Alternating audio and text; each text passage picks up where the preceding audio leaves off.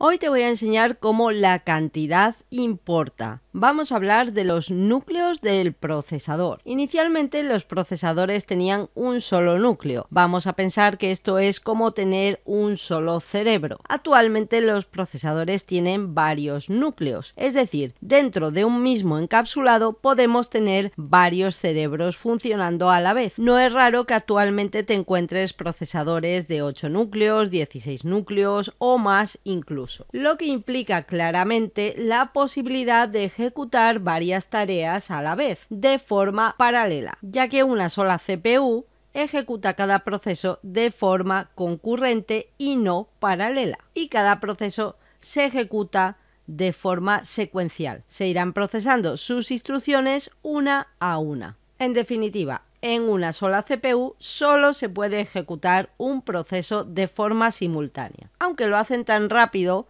que tú puedes tener múltiples aplicaciones abiertas y piensas que están funcionando de forma simultánea. A esto se le llama ejecución pseudo paralela, ya que hay varias tareas en ejecución en periodos de tiempo solapados es decir, que el tiempo se reparte entre varios procesos, con lo que la llegada de los procesadores multinúcleo traen consigo un paralelismo real en la ejecución de los procesos. Además, tenemos que distinguir entre núcleos físicos y núcleos lógicos. Los núcleos físicos son los cerebritos como tal que tiene mi encapsulado de procesador. Pero yo puedo utilizarlos de una forma más eficiente utilizando tecnologías multihilo como por ejemplo hiperthreading de Intel o el hiperthreading simultáneo llamado SMT de AMD. El multithreading implica una mejora por la cual la CPU puede mantener el estado de dos hilos de ejecución diferentes para así alternar entre uno y otro de una forma mucho más rápida que lo haría normalmente. Para ello tenemos que comprender lo que significa hilos de ejecución o subprocesos, que simplemente son divisiones de un proceso que trabajan con una independencia tenemos que distinguir también entre procesadores físicos, que son los núcleos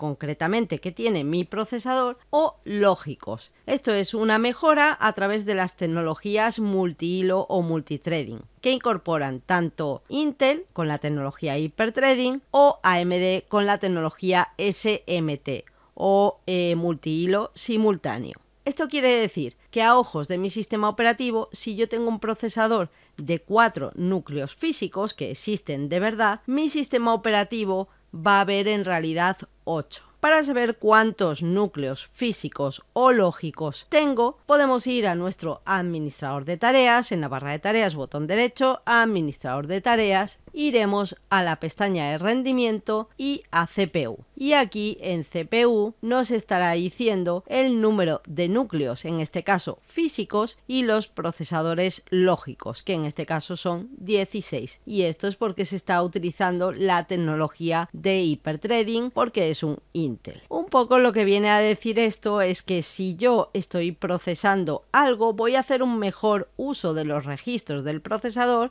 que son las memorias por las que tienen que pasar la información, de forma que tendré dos resultados a la salida en lugar de uno.